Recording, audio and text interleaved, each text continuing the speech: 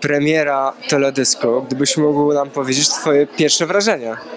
No teledysk e, Karoliny, którą znam, miałem przyjemność e, współpracować z nią już przy Złotym Manamie.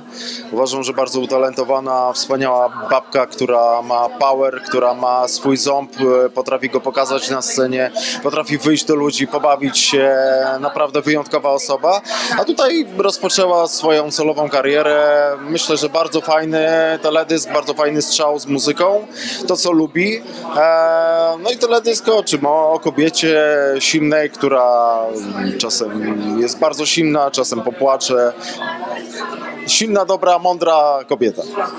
Czy chciałbyś, żeby takich kobiet było coraz więcej w naszym otoczeniu? Czy takich kobiet?